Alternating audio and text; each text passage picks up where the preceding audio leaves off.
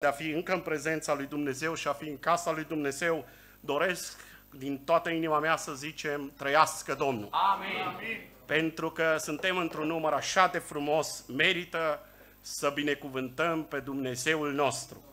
Și psalmistul în psalmul 103, versetul 1 spune, Binecuvintează suflete pe Domnul și tot ce este în mine să binecuvinteze numele Lui cel Sfânt. Amin. Binecuvintează suflete pe Domnul și nu uita niciuna din binefacerile Lui.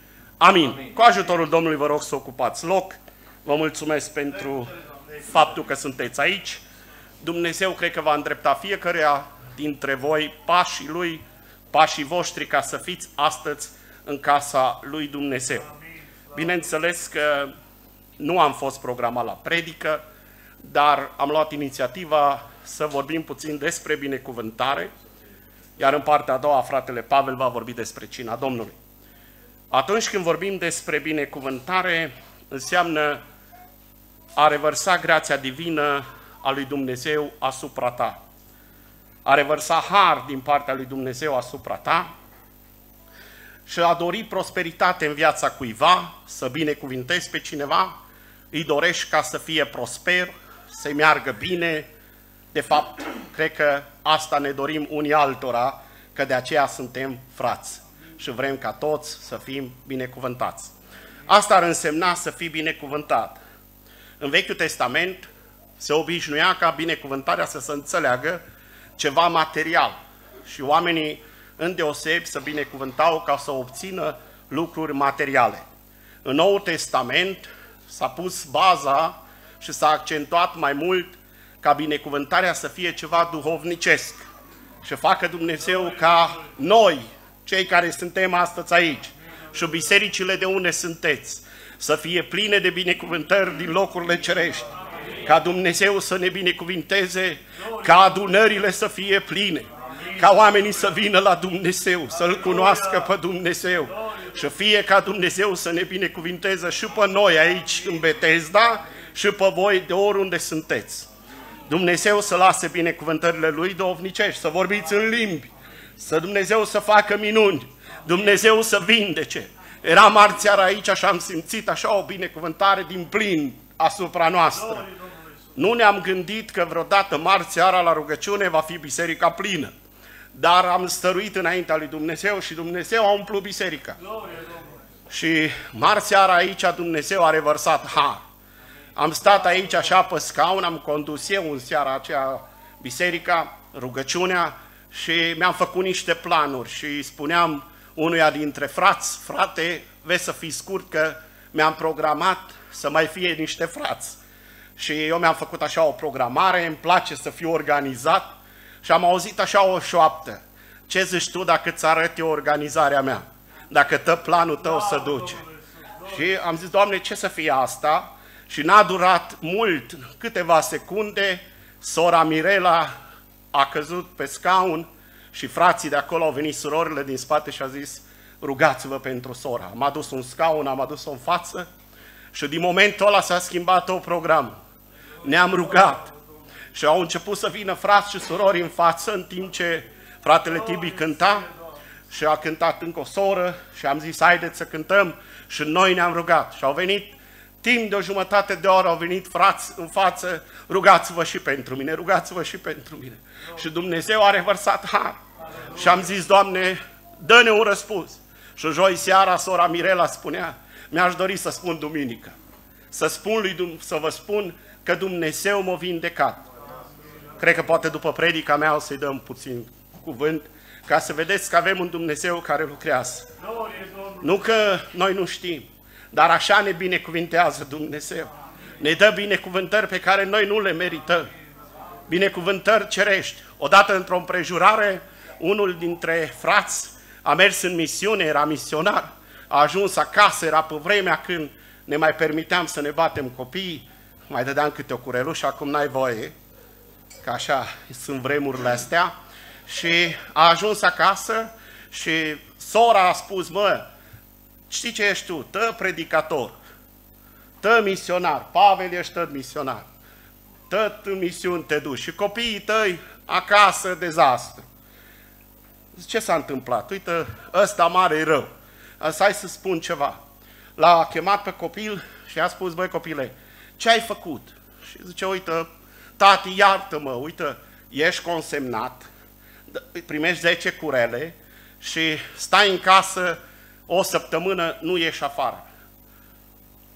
A, început, a scos cureaua din pantaloni și a început. 1, 2, 3, 4 și s-a oprit. Copilul a zis, tati, dar ai spus până la 10, chiar dacă l-a durut. A spus, tati, dar tu ai spus până la 10. Am vrut să spun, să înveți din asta, că cum să îndură un tată de copiii lui, așa să îndură și Dumnezeu de noi. Pentru că nu ne dă pedeapsa pe care o merităm pe deplin. O dă mai scurt, că e milă de noi. Că e milă de noi. Chiar dacă merităm mai mult, chiar dacă suntem răi, își curtează pedeapsa. N-a durat mult, îmbracă-te că trebuie să ieși cu mine afară. Tati, dar ai spus că sunt consemnat. O săptămână trebuie să stau în casă. Nu-i nicio problemă, eu sunt șef, tu vii cu mine. L-a dus afară și la primul chioș de înghețată. I-a cumpărat o înghețată. Copilul și-a luat înghețata și a spus, tati, eu n-am meritat înghețata aceasta, de ce mi-ai luat înghețata aceasta? Ce ca să vezi cum e harul lui Dumnezeu. Că El ne dă daruri care noi nu le merităm. Ăsta e Dumnezeul nostru. Câte înghețate ți-o dat ție Dumnezeu? Câte înghețate mi-o da mie Dumnezeu? Merită să lăudăm pe Dumnezeu, merită să-L binecuvântăm. De aceea suntem astăzi aici, pentru că merită să binecuvântăm pe Dumnezeu. Într-un moment dat, un om al Scripturii, în Genesa 12 cu 2, Avram, el ies afară și Dumnezeu stă de vorbă cu el. De aceea Scriptura spune ce caut un om, un om care se iasă afară, să-i vorbesc, să stau de vorbă cu el. Și Dumnezeu l-a găsit pe omul acesta potrivit, pe Avram. A stat de vorbă cu el și a zis, Avrame, uită-te stelele de pe cer, privește la ele. S-a uitat Avram în ziua de astăzi, ă, mai recent, oamenii de știință, la ochiul liber, pot să numere 6.000 și vreo 800 de stele și le-o fi numărat Avram, poate și el a fost așa mai isteț, nu știu ce-o fi avut, dar nu, o privit cu ochii și o vezi tu stelele de pe cer și o zis, așa voi face eu ca neamul tău să fie așa, te voi binecuvânta. Ca lucrarea lui Dumnezeu să fie perfectă, s-a constatat că de fapt în spatele stelelor care noi le vedem cu ochiul liber, există stele care noi nu le vedem. Mii și milioane de stele, constelații întregi care le cunoaște Dumnezeu. Mai departe de atâta zice Dumnezeu ca să nu ne încurce, că pentru că El nu ne încurcă niciodată. Ce cum e nisipul de pe fundul mării, la asta cine îl mai poate număra? Așa voi face eu neamul tău. Și face Dumnezeu o promisiune lui Avram și spune, voi face din tine un neam mare, te voi binecuvânta, îți voi face un nume mare și vei fi o binecuvântare. L-a făcut Dumnezeu. Amin. Am vrut să vedem puțin ce înseamnă binecuvântare. Unii sunt binecuvântați pentru că stau în jurul celor binecuvântați. Laban a ajuns la el Iacov. Genesa 30 cu 27. Zice, la un moment dat, dacă am căpătat trecere înaintea ta, mai zăbovește. Ți s-a întâmplat vreodată să spună cineva, simt că sunt binecuvântat din cauza ta? Unde păzesc copiii lui Dumnezeu? Salmistul spune, unde pășesc ei, ce izvoresc? 80, Salmul 80. Izvoare de apă vie. Dacă am căpătat cumva trecere înaintea ta, mai zăbovește. Văd bine că Domnul m-a binecuvântat din pricina ta. Știți de ce sunt unii binecuvântați? Din pricina noastră. Pentru că Dumnezeu ne dă și dă și lor. Pe lângă noi, profită și ei de binecuvântarea lui Dumnezeu.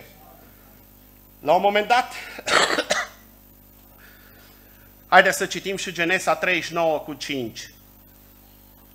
La un moment dat Potifar îl pune pe Iosif mai mare peste casa lui. Poți să pui, nu? 39 cu 5. De îndată ce Potifar l-a pus mai mare peste casa lui și peste tot ce avea, Domnul a binecuvântat casa egipteanului din pricina lui Iosif. Și binecuvântarea Domnului a fost peste tot ce avea el, fie acasă, fie la câmp. Era pocăit Potifar. Era copilul lui Dumnezeu Potifar. Nu, dar au profitat de bunătatea lui Dumnezeu, de binecuvântarea lui Dumnezeu care revenea asupra datorită lui Iosif. Frații mei, de multe ori, cei din lume care stau în jurul nostru, chiar dacă nu sunt pocăiți, ei profită de binecuvântarea noastră. De multe ori tatăl meu când trăia, ne spunea, știți de ce vă binecuvintează Dumnezeu datorită mie? Mi-era ciudă așa și am zis, cum să poate să spui așa ceva? Ce? Cine-i tata? Dar tata era omul care se ruga. Tata era omul care îl chema pe Dumnezeu și îl chema să ne binecuvinteze. Frații mei, chemați-L pe Dumnezeu ca să vă binecuvinteze pe cei din jurul vostru.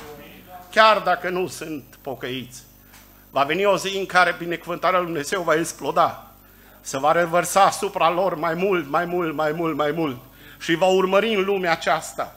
Pentru că există un Dumnezeu care știe totul și aduce cum știe El mai bine. Unii trebuie să lupte pentru binecuvântare. Mi-am notat aici 3, Genesa 32 cu 26. La un moment dat Iacov luptă și zice, la un moment dat, cel cu care să lupta, îngerul, spune, lasă-mă să plec, că să revarsă zorile. Dar Iacov a răspuns, nu te voi lăsa să pleci până nu mă vei Ești astăzi aici? Vrei să te binecuvinteze Dumnezeu? Câți dintre voi vreți să aveți siguranța că Dumnezeu vă binecuvintează și să spuneți, eu nu plec de aici până Dumnezeu nu mă binecuvintează. Dar poate unii suntem altfel. Când să gata? Oare când e gata? Oare când să gata programul? Oare cât predică omul ăsta? Dar dacă am stat și am zice, Doamne, atâta vreau să stau în locul ăsta până mă binecuvintez. Vreau să simt binecuvântarea Ta. Vreau să simt din cer că cobori asupra mea. Că minunți viața. Că mă umpli de Tine. Că simt prezența Ta. Astfel de oameni are nevoie Dumnezeu. De aceea au binecuvântat familia aceasta patriarhală. Că în viața lor exista astfel de lucruri. Oameni care au spus, nu te lăs să pleci până nu mă binecuvintezi. Noi nu suntem la rugăciune. Noi nu suntem joia la adunare. Noi nu suntem duminica la biserică. Și noi vrem să fim binecuvântați ca ei. Dar ei și noaptea, în câmp, nu te lăs să pleci până nu mă binecuvintezi pentru că era conștient că există doar unul singur. Unul singur care binecuvintează, care e Dumnezeu. Tu unde ești? Aștepți binecuvântări și nu lupți pentru ele? Crezi că vine binecuvântarea dacă nu lupți? Trebuie să luptăm pentru binecuvântări. Și știți cum trebuie să luptăm? Pe genunchi. Doamne ajută-ne! Bineînțeles că nu facem ca cei din lume, nu vrem să supărăm pe cineva dacă e ortodox astăzi aici, dar noi obișnuim să aducem copiii înaintea lui Dumnezeu și să-i binecuvântăm. Considerând că în felul acesta îi aducem și rostim binecuvântarea peste ei, ca ei să poată să ducă o viață sănătoasă, o viață plină cu Dumnezeu și fie ca micuțul Anaser, bine am, Ema, Anaser Emanuel, ăsta era mai greu, Anaser, Anaser Emanuel, fie ca Dumnezeu să-l binecuvinteze și să nu rămâneți aici doar la binecuvântare, să căutați să vă împăcați cu Dumnezeu ca să fiți ca Iacov altă dată. Doamne, n-am să te lăs până nu mă binecuvintez. Nu că ești mulțumit că-ți merge bine, că ai bani, că ai de nu știu ce. Să fii mulțumit că l-ai pe Dumnezeu. Să fii mulțumit că vii în casa lui Dumnezeu și te bucuri. Că chiar dacă sunt doi, chiar dacă suntem trei, Dumnezeu dă revărsă har său. Și ăsta e Dumnezeu de care avem atâta de mare nevoie. Fie ca Dumnezeu să umple viața voastră. După aceea, Haideți totuși să citim ca să ne documentăm și aici. Genesa 48 cu 9. Iosif a spus tatălui său, sunt fiii mei pe care mi-a dat Dumnezeu. Israel a zis, apropie-te rog de mine, ce-o zis? Ca să îi binecuvintez. Noi ca și părinți asta ne dorim pentru copiii noștri. Noi vrem să-i binecuvântăm pentru că spunea fratele Pavel, părinții mei m-au adus la binecuvântare și am rămas binecuvântat. Eu am fost dus la ortodoxi, dar mai târziu Dumnezeu i-a întors pe părinții mei când aveam 10 ani și uitați că am trecut și eu în partea aceasta a binecuvântării. Și mulțumesc Domnului. Dar ferice de cei care ne-am adus copiii la binecuvântare, că există un Dumnezeu care poartă de grijă. Atunci când ești binecuvântat, ești protejat de Dumnezeu. Numer 22 cu 12. Omul ăsta avea așa el un dar, numer 22 cu 12. Omul ăsta, Balam, a fost chemat să blesteme pe poporul lui Dumnezeu și el zice, Dumnezeu stă de vorbă cu el. Ce, fii atent aici. Să nu te duci cu ei și nici să nu blestem poporul acela, că ce este? Păi dacă ești binecuvântat, ce mai poate să-ți facă ceva rău? Am auzit odată așa o, niște suriori, o sta jos și eram și eu acolo și au zis, a început o soră așa mai nouă la credință să plângă și mi-a vorbit Domnul că diavolul vrea să mă lovească. Și am zis, stai cu minte, că pătăzi vrea să ne lovească, dar avem un Dumnezeu care ne protejează. Că de ce? Pentru că suntem binecuvântați. Are rost binecuvântare. Are rost, slavă Domnului. Dar dacă ești binecuvântat, poți să dai mai departe. Să fii și darnic. Haideți să vedem Deuteronom 16 cu 17. Fiecare să dea ce va putea după binecuvântarea pe care o va da Domnul, Dumnezeul tău. Amin. Putem să numărăm banii azi la biserică. Am zis așa, nu? Dacă Dumnezeu vă binecuvântat, să vede aici, nu astăzi, vedem. Dacă dăm mai departe cu inimă largă, nu? Frații mei, am inițiat un proiect la noi în biserică și anul trecut și anul ăsta. Noi funcționăm doar de 2 ani de zile. În februarie avem 2 ani. Și asta e al doilea an în care am inițiat un proiect în care să ajutăm familii din România. De data asta ajutăm familii care sunt oameni bătrâni, neputincioși. Cineva a spus, de ce nu ați căutat la copii? Și azi dacă Dumnezeu aici ne-a îndreptat către oamenii bătrâni, înseamnă că e planul lui Dumnezeu. Și au venit oameni și au spus și nepocăiți, noi vrem să participăm cu atâta. Și am făcut un tabel. Și poate ca să și practicăm ceea ce auzim. Poate că la sfârșit acolo e un tabel și vă uitați și voi pe el și ziceți, frate Marcel, vă întoarceți înapoi, așa mă cheamă pe mine, dacă nu m-am prezentat până acum. Frate Marcel, vrem să participăm și noi, uite cu un pachet sau două, să duceți la frați acolo în România. Ei, ca să dovedești faptul că Dumnezeu te-a binecuvântat, trebuie să fii și darnic. M-a binecuvântat Dumnezeu, dar mi-am cusut buzunarile. Am ales deschisă. Mai sunt pantaloni de ăștia care sunt cusuți, dar unii își bagă bani acolo și așa când scot, să facă afaceri. Dar le rămâne închis pentru Domnul, chiar dacă e plin. Frații mei, trebuie să scoatem pentru Domnul. Să dăm pentru Domnul, să fim pentru biserică să dăm bani, să dăm bani pentru cei săraci, ca să dovedim că Dumnezeu este Cel ce ne-a binecuvântat. Mă opresc aici, ați multe de spus, dar mă opresc. Dar dacă ridici altare în casa ta, câți dintre noi mai ridicăm altare în casa noastră? Am asta e o întrebare grea. Sau stăm tăți și nu mai ne uităm la Netflix, că acum e Netflix.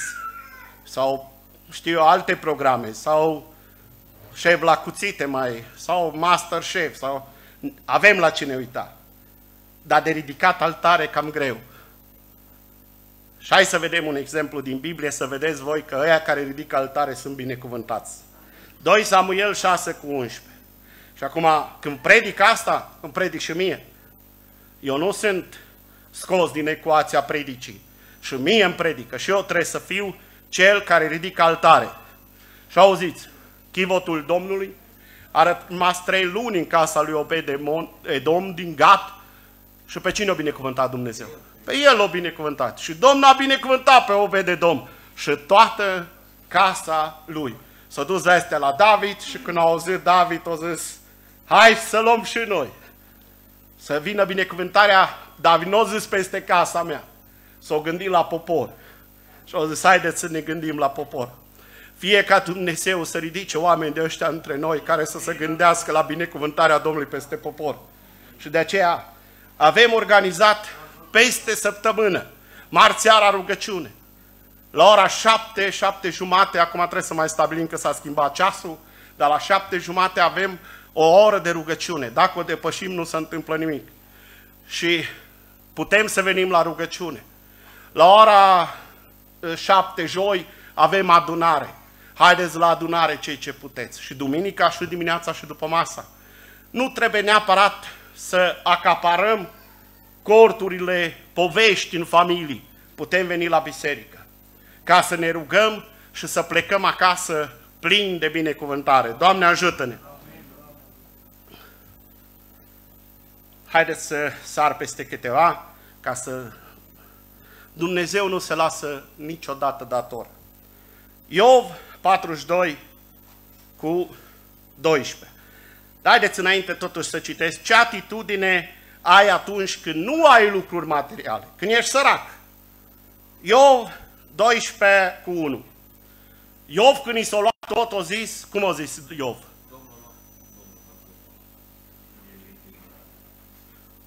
Unu cu 21, te rog. Iov 1 cu 21. Iartă că n-am citit eu bine. Gol am ieșit din pântecele mamei mele și gol mă voi întoarce în sânul pământului. Domnul a dat, Domnul a luat, binecuvântat fie numele Domnului. Salmistul vine și spune Salmul 34 cu versetul 1. Voi binecuvânta pe Domnul când? Doamne ajută! Dacă am spus odată, poți să pui Salmul 34 cu versetul 1. Am spus odată aici așa, am zis, băi, ăsta e Salmul începătorului, predicatorului începător.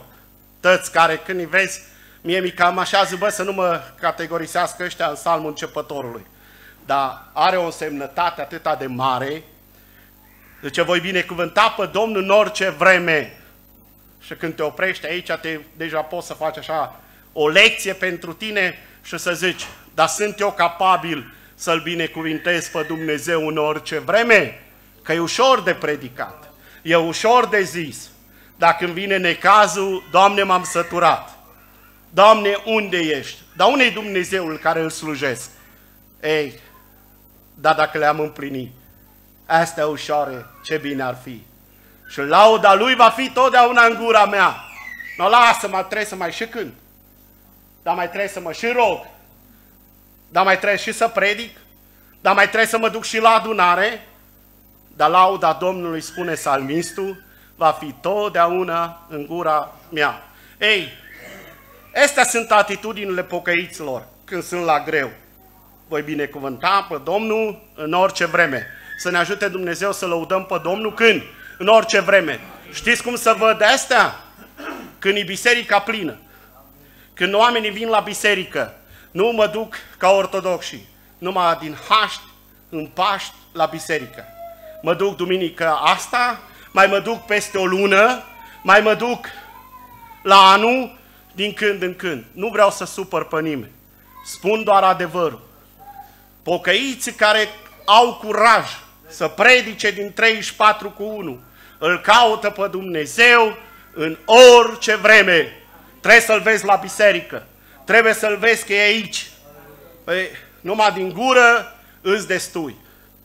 Și să ne ferească Dumnezeu să nu fim de ăștia numai din gură. Să dovedim că suntem pocăiți. Și mărsul la biserică să facă parte din faptul de a lăuda pe Dumnezeu în orice vreme. Ei, Dumnezeu nu se lasă niciodată dator. Iov 42 cu 12. Citim aici Iov 42 cu 12. Deci în cei din urmă, anii săi, Iov a primit de la Domnul mai multe binecuvântări decât primise cei din tâi. A avut 14.000 de oi, 6.000 de cămile, 1.000 de perechi de boi și 1.000 de măgăriță. Și Dumnezeu i-a mai dat și 10 copii, nu? Că i-a dat Dumnezeu dublu, pentru că Dumnezeu știe dacă stai în ascultare, știe să răsplătească și nu răsplătește ca omul. El dă îndoit. Ăsta e Dumnezeu. Dacă știi să stai în ascultare, Dumnezeu răsplătește. Și asta a făcut lui Iov, l-am luat pe exemplu pe Iov, să mă grăbesc puțin. Cum știi dacă ești binecuvântat? Poate e cineva aici și zice, bun, dar eu, de unde știu eu că sunt binecuvântat? Proverbe 10 cu 22.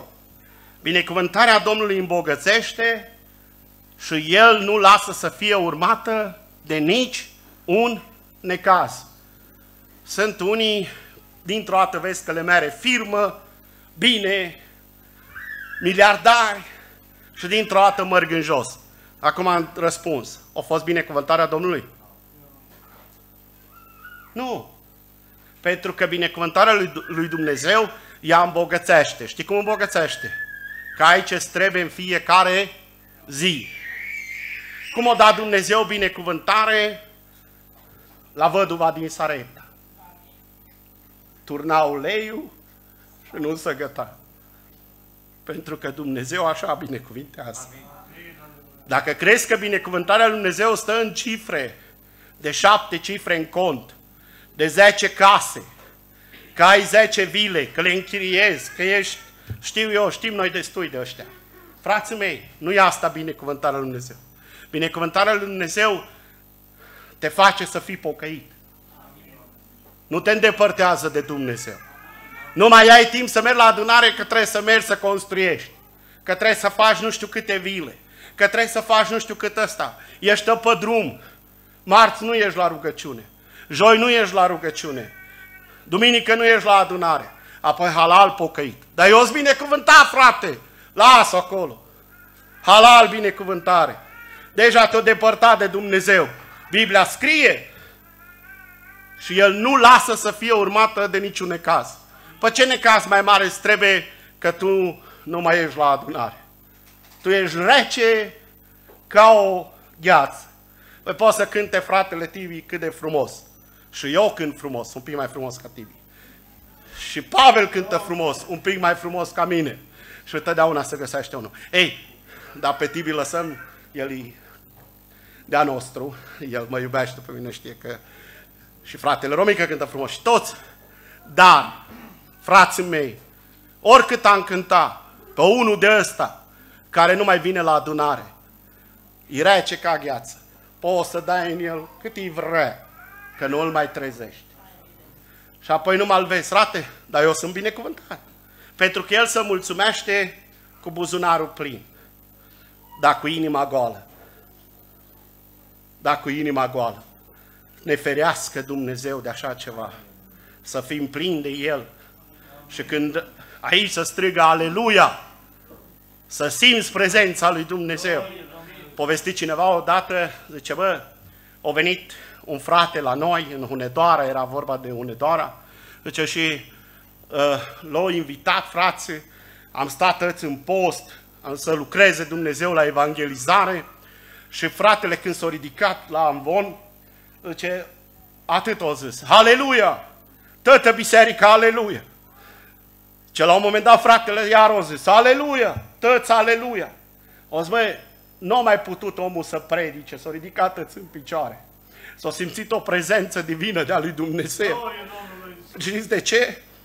Pentru că cei care îl slujesc pe Dumnezeu n-au nevoie de multe cuvinte. Au nevoie doar de atâta. Să zică un aleluia, un osană, trăiască Domnul. Și Domnul îi umple viața, îi umple inima. Doamne, binecuvintează-ne în felul ăsta. Mai să citesc unul. Am unul, ăsta l aduc ca gând. De multe ori, Matei 26 cu 26. Domnul Iisus avea obiceiul acesta când mânca să ruga. Pe cum El ca Dumnezeu se ruga. Noi nu ne mai rugăm. Și eu mai câteodată uit. Și nu suntem în stare să-i mulțumim lui Dumnezeu nici pentru că mâncăm. Pe mine tata mă cam inerva, era tare pocăit. Când, când s-a pocăit, când intram în casă, mergeam undeva pe genunchi la rugăciune. Iară mă rog. Când ieșeam, iară ne rugam. La mâncare, când mâncam, ne rugam. Când gătam de mâncat, ne rugam. Mai vineau și niște frați, ne rugam. Mă, nu știam pe unde să fug. Cum tă rugăciune, rugăciune, rugăciune. Astăzi constat că așa sunt copiii lui Dumnezeu. Amin. Că de oameni de ăștia are nevoie Dumnezeu. Și îmi pun întrebarea mie personal, că și eu trebuie să fiu așa. Tu, care ești astăzi aici, te-ai gândit?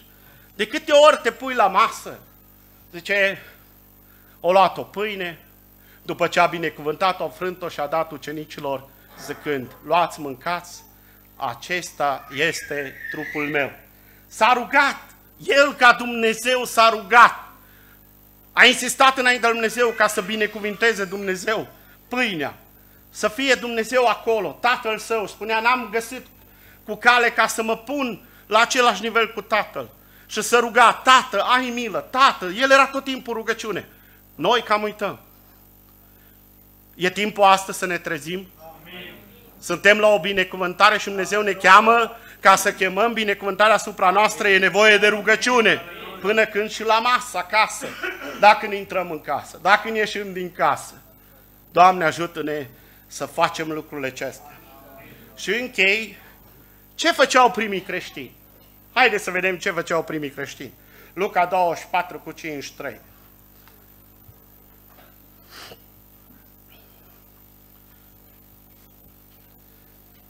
Da, mai ziceți ceva. Mai suntem noi creștini. Și tot timpul stăteau în templu. Da. Haideți să ne punem noi în oglinda asta, mai fraților. Credeți-mă, mi rușine. Și tot timpul stăteau în templu, duminica asta vin, trei duminici nu vin. Văd eu, mă plictisit. Mai vin odată, nu știu când. Și tot timpul stăteau în templu. Și lăudau și binecuvântau pe... Asta e atitudinea unor pocăiți. Trebuie să fim așa.